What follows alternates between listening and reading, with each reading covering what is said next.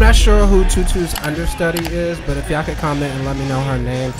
But she really comes down giving us this overhand catwalk, and it is eating. I'm here for the elements. I'm here for the stretch. It's very femme queen about it.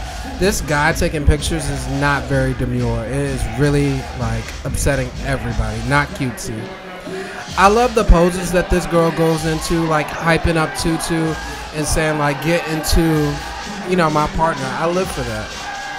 Legendary Tutu comes out, and her tints are so cutesy, so demure Tutu is like just one of those soft femme queen performers that don't let the beat control her. She always controls the beat. Like in her poses, the catwalk, she takes her time during her performance. So you just have to appreciate everything that she does. This stunt from Tutu really reminds me of Star Revlon at the Midwest Awards Ball. Not saying she got it from that, but it reminds me of that. And I love the fact that Tutu's not one of those legends that don't come out. She's not scared to walk. Tutu really gets out there.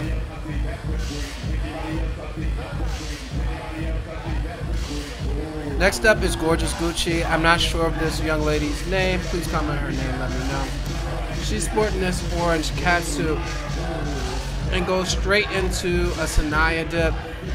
And this catwalk is a little bit awkward but she's trying to make it work. I felt like her temps were kind of shaky. They were kind of mediocre. And she recovered that slip very well. You can tell that she has a lot of control in her performance, and I see a lot of growth in this young lady's future. Uh, next up is our up and coming legend, Pandora West. Pan- the way Pandora filled out that catsuit should be a crime because she's in it. Her start off is so nasty to me. Her catwalk is so nasty. Like, it's the hips, it's the body. It just makes her performance look so clean. Like, Pandora moves and she's got all of these elements and they just work for her. Like, it's so much body, it just makes her performance look so teed.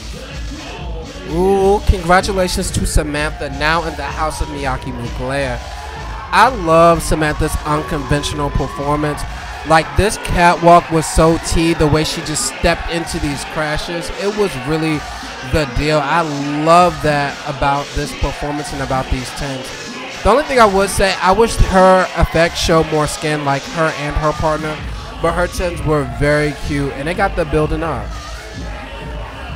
I'm not sure who her partner is. Can y'all comment and let me know?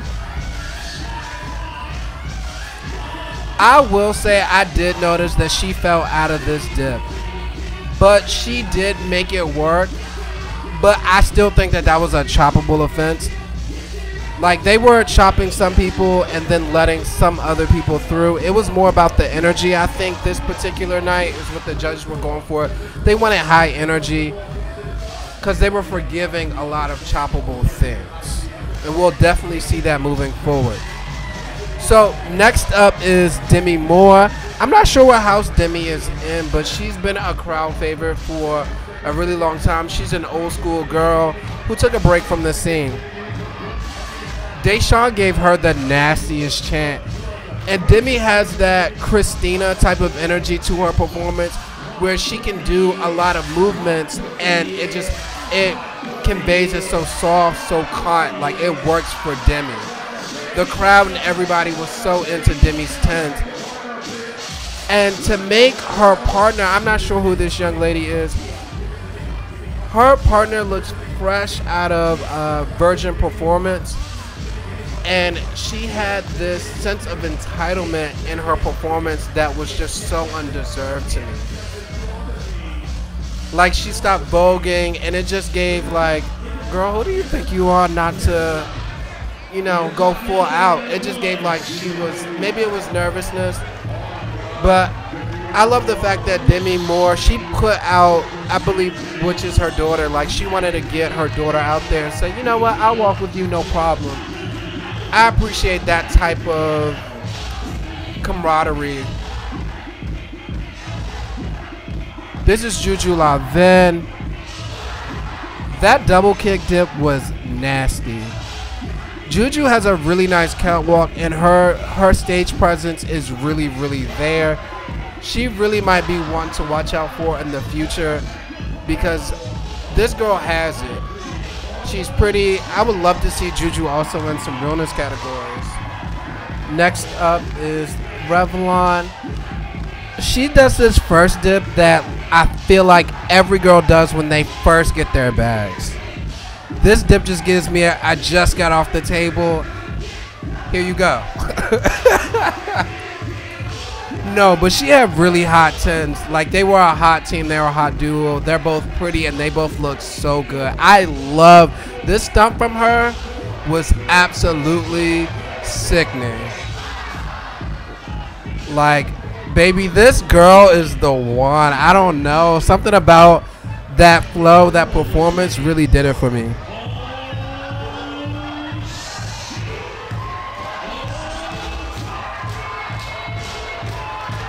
I'm gonna be completely honest with y'all. Barbie's energy when she first started was nasty. And congratulations to her for debuting in the House of Gorgeous Gucci, leaving Balenciaga.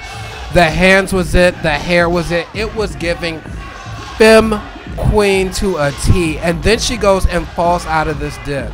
Like not a recovery, not a damn thing. And the judges let that slide. Barbie should have absolutely been shot for that. Like it wasn't a secret or anything. She just clean fell out of the dip. And that just lets you know the extent of pretty privilege in ballroom. Because she didn't do nothing but go out there and be pretty for those tens. Granted, it had elements before, but girl. The queen of latex, get into this catwalk because it was catwalking. The Sanaya titty shakes into the the kick. This first dip, this first spin dip was just out of this world. It has so much energy. And Tati showing us that she still has that stretch. The body is bodying. Like Tati was on her shit for these tens. Like it really shook.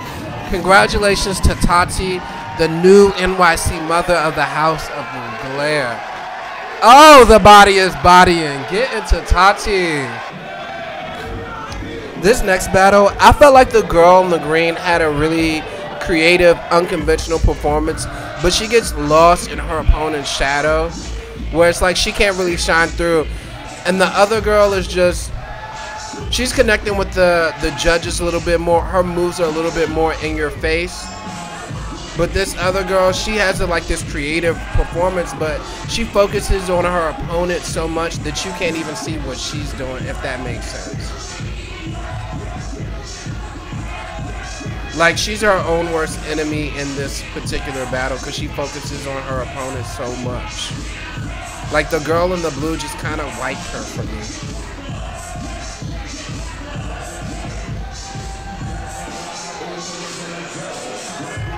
And then Tutu, and then the other girl in green. She has a their comp, their performances. The girl in the green, their performances. They they both complement each other. They're both like unconventional and creative. But I don't really feel like too much went on in this battle to really break down. I felt like the blue suit team really just ate them easily without really trying too hard. Like nothing really happened in this battle for me. Tutu is always a superstar, but they beat them so easily. Like something about this team in the green is just they just need one small tweak to make it that much better. It's something missing. This girl comes catwalking down in the orange while Juju takes her time in the back. Something about this girl's dips is just uh, something is a little off. Something about her dips just needs to be a little bit tighter. And her performance moves on one frequency the entire time. I would love to see her like add some variety with her movements and her pace. Like there's something missing from this girl in the orange, and I can't put my quite put my finger on it. This stunt from Juju is so nice. Like this dip, soft, cunt. I love subtle stuff like that. This colorful catsuit girl, the way she starts her this battle is so nice because she remixes her move. So she goes to the panel and kind of dusts it off with her foot, and then Pandora says I could do that too, and she says I could do that better, and gives you another like remixing her first stunt. And then Pandora kind of gets lost when she does that stunt back there.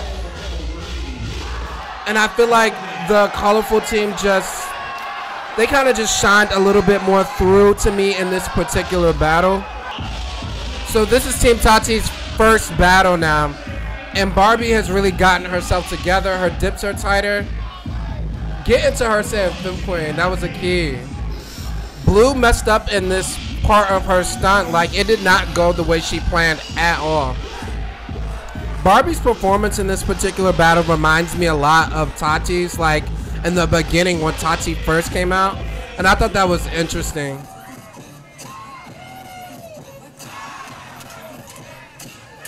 But Barbie's landing all of her dips. And this girl in the blue, it seems like she can't quite get it together in this particular battle. And this like stuck moment was so cute in their performance. The way that Tati and Tutu came catwalking down, but I honestly think that Tati got that moment with that dip. I love the fact that Tutu really was taking our time and getting to that picture perfect pose from Tutu in that moment.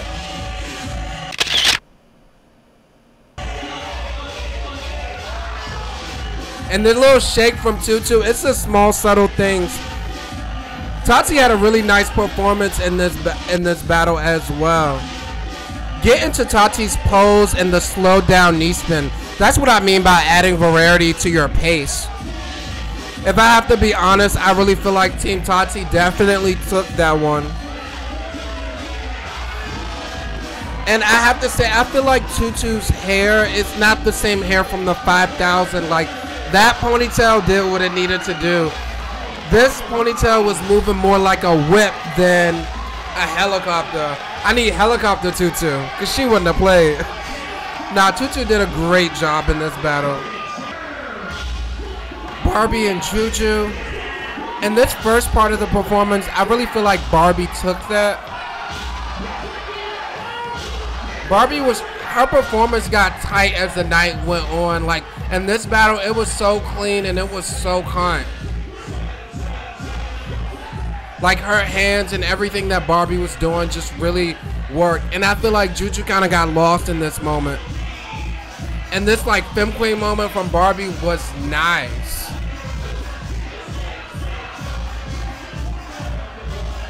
Barbie's performance is just so clean in this particular battle. Like she's just sticking her dips. Tati did not come to play with this girl, and neither did this girl.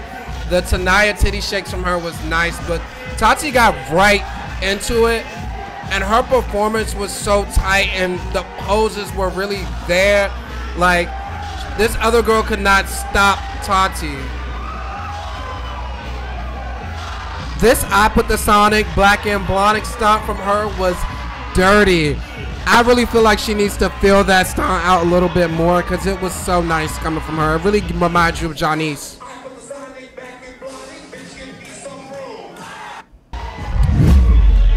Grand Prize, the Queen, and the Princess of Latex.